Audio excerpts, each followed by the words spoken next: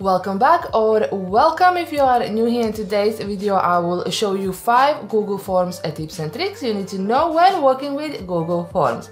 So let's dive in. As you probably already know, to access Google Forms, you can come to your Drive or you can simply type a Google Forms on Google or use URL docs.google.com slash forms. So from here on, you can start creating your form. You can use one of the templates or just simply click on the blank.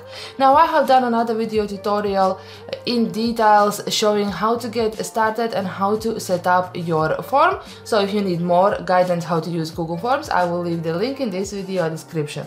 So now let's just jump in and open one of our forms. And tip number one is if you want to send responses to uh, people who have submitted your form. You want to reply to your responses you have received on your form then you must make sure you have enabled one of these settings.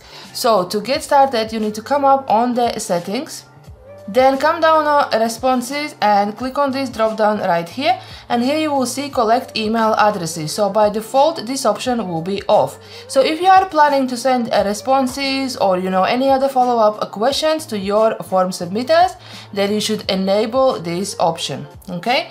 And then you also once you have done that you will have option send responders a copy of their response. So you can keep this one as off or only when requested or always. That's really up to you. The main main thing is for you to enable this feature right here. So you then collect the email addresses and you will be able to reply to the responses you have received on your Google Forms. Tip number two is that you can set up email notifications. So once you come on the responses tab right here, there are zero responses since this is a new form, but if you come on this three dot little menu right here, and then you have option get email notifications for the new responses. So if you want to uh, send replies to your form responses you have received, so you have enabled to collect email addresses as per tip number one, and then if you come here, you will actually get notified whenever you have a new responses and you can reply to them quickly. So click on this right here and you will see pop-up saying email notifications enabled. Tip number three is regards actual form creation. So if we come on the questions right here, and again I have done another video tutorial how to set up the questions and use this menu. Now what I would like to suggest and recommend when you have a longer forms and you have loads and loads of questions within your form, sometimes it's very useful to create sections. So when somebody opens the form, they will not gonna see a long list of the questions uh, in a long row, they all will see the first section. So to do so, if you scroll down on this menu on the bottom and click on add section. Okay, you can see this is section 1 out of 2 and you can do this process several times and simply like sort of group your questions into simple sections so once somebody loads your question he will only see the section 1 first okay and once it's done then you can move on to the other question so as I said it's really useful if you have a lot of questions in your form and you just want to organize and separate them into the sections. Tip number 4 is to use embed feature on Google Forms. So if we come on send, you will see you have uh, several options. And from here again you can see you have enabled email collection. Okay so that's working. And then if you come on this sidebar right here and click on this you will get embed HTML code and you can embed your form. So you might be aware that you can send your form through email. You can also share it with this link. Okay but you can also use HTML code. And right here you can specify the size for your form now to use this code you simply need to copy it okay? You can see it's copied to the clipboard and then you can embed it on your web pages. So on this uh, channel we do lots of tutorials with google sites and i have just loaded a blank google sites page. And then if i come on a sidebar on embed or simply double click and click on embed you can then use uh, this feature embed code Simply paste your code, click on the next, you will be able to see the preview and then click on insert.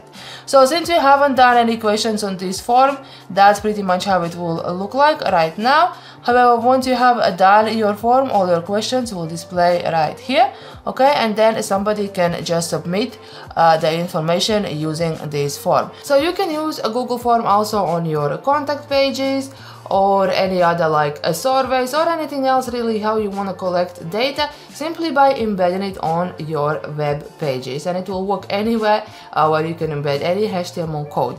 Now regards the Google Sites you don't really have to go this way to embed it if you click on the insert tab and scroll down you can access your Google Forms from here as well simply because Google already integrates all its products within the Google site so from here you can simply just click and then uh, Uh, you know insert this form on your page as well. I'm just showing you an example how to embed it if your site is not maybe built with Google Sites. Alright let's jump back to Google Forms. And tip number five is to edit your confirmation message.